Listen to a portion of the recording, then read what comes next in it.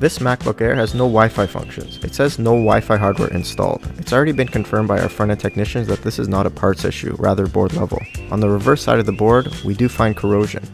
Cleaning it off, we notice that the IC that's most likely damaged is responsible for Wi-Fi, U3540. We check the traces and resistors and confirm all is good so we know we can proceed with replacing this IC chip. We remove it and prepare the bonding pads for a new component that we pull from this donor board. Install it onto the customer's board using hot air. Now we are ready to test the MacBook. Wi-Fi functions have been restored and the device is ready to be assembled and get back to the customer.